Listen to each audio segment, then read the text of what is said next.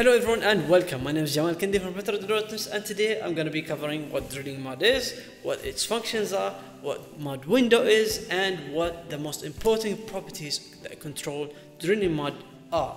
If you do find this video helpful and or entertaining, please share it with your inquisitive friends and uh, consider subscribing to the channel for every now and then petroleum videos. Let's start with what drilling mud is not. It's not sand mixed with water, that's uh, subpar mud in a petroleum engineer's eyes. Um, in the oil field glossary from Schlumberger, uh, drilling mud is defined as the mixture of fluids used to drill boreholes. It can be oil based, water based, gas based, or uh, emulsion based, so a mixture of uh, chemical additives.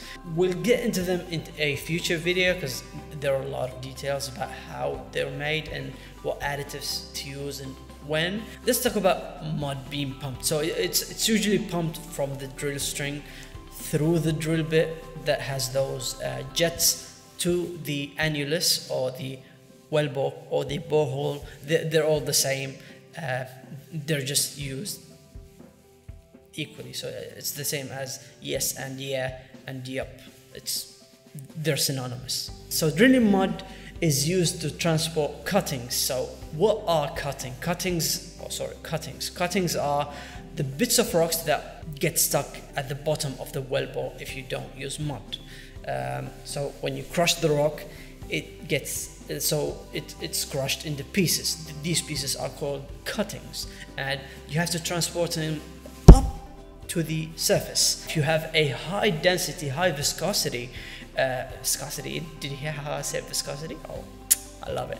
Uh, so, so, so, you, you'll have that uh, heavy mud that can kind of suspend and even lift those um, cuttings uh, or bits of rocks out to the surface. Now, if we don't use mud, if we, if we just use water, if we leave those cuttings to be crushed by the drill bit over and over, what will happen? The first thing that would happen is a stuck pipe, which is a pipe being stuck. It's, it's self-explanatory. The second is high torque and high drag. So you'll need more force to drill the same formation because the drill bit will be crushing the rocks so the formation rocks and the cuttings at the same time and it'll continue to do so and it'll need more power to drill the same section of rocks and that would incidentally mean that you are wearing your bit even more because it's crushing a formation that's not um, I don't want to get into a lot of detail but you need to know that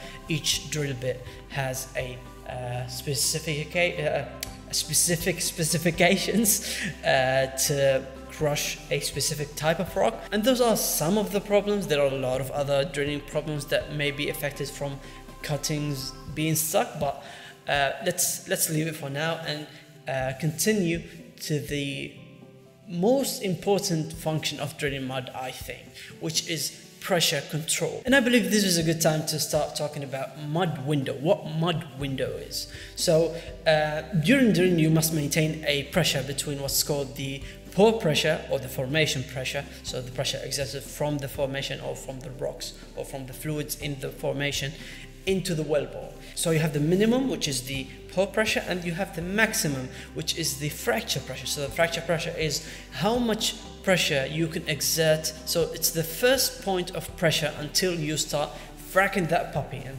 the puppy here being the formation. So how much pressure you can exert on the formation from the wellbore, from the hydrostatic pressure, or from the pump itself until the formation starts to crack. So you, you don't want the formation to be cracked because then you will lose all that sweet sweet mud into the formation and you also don't want to go below the pore pressure because then you will get fluid from the formation into the wellbore which uh, can which is called a kick a kick is the technical term for uh, unwanted um, or unplanned uh, petroleum influx into the wellbore you gotta add unwanted in the uh, definition because petroleum influx into the wellbore is just producing oil.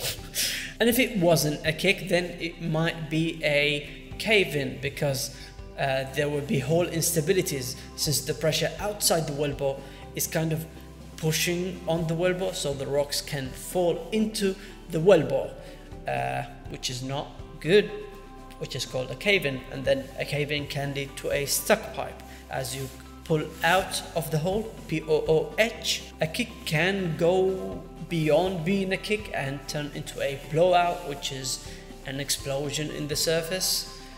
Um, a kick can lead to um, poisoning of H2S, and if it didn't lead to a blowout, uh, the best case scenario would be a change in the rheological properties of the drilling mud, which is also not good. So it's, it's better to kind of stay between these two, between the pore pressure and the fracture pressure.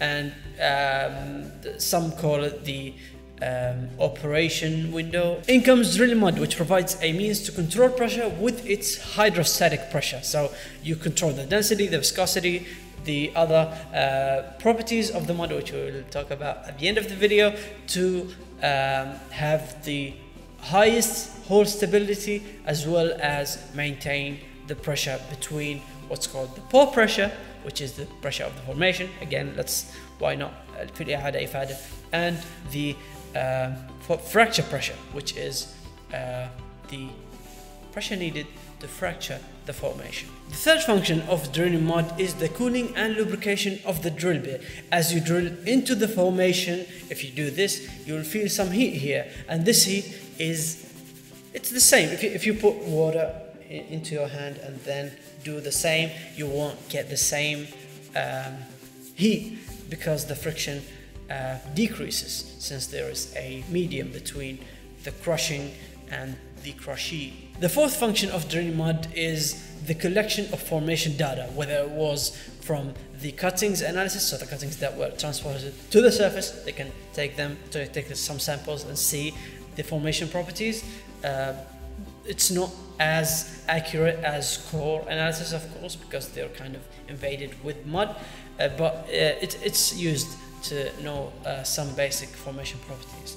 Uh, it can also be obtained uh, by tools that um, take the mud as a conduit or as a medium to um, calculate or monitor uh, wellbore stability or the properties of the formation.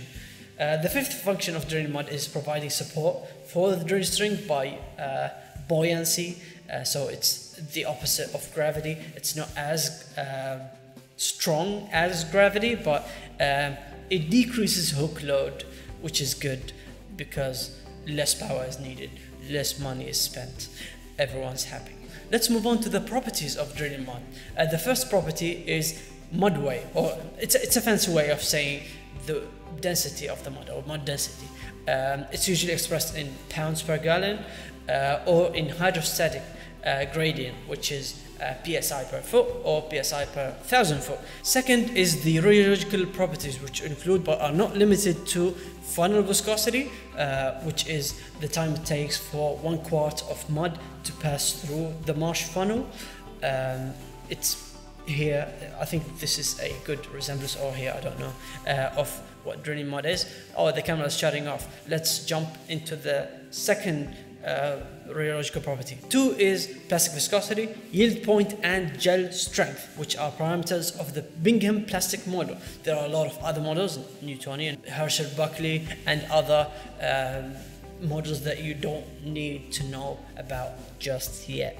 Three is the filter cake, which is uh, created when the drill mud is forced uh, against the border between the uh, formation and the wellbore. So uh, some um, fluid called filtrate uh, gets into the formation. And not not that much it's just a little bit in the invasion zone and that creates the filter cake. So the more permeable the formation is uh, the formation being drilled is the bigger the mud cake uh, and the higher the filtration is. Um, if you drill into a shale formation, which is which usually doesn't have that much permeability, then you wouldn't get that much mud cake because there is not a lot of filtration. There is not a lot of fluids getting into shales because their permeability is much uh, or significantly less than those of, uh, say, uh, sandstones or limestones. Last but not least, the pH value or the alkalinity. So, uh, if the mud is sour or alkaline, um, it changes the properties of the mud and thus changes the uh, stability of the well bore uh, in turn. That concludes the first part of drilling muds. Next week we're going to be discussing the water-based, oil-based, gas-based, emulsion-based muds. So uh, stay tuned for that. And I hope you found this video entertainingly useful. Um, if you have any questions, please let me know in the comments. If you have any um, critiques about the, um, the structure of the video or anything that you find that would improve this channel, please uh, share it in the comment section below. That's it. Uh, you'll see me guys in the next one. Hey.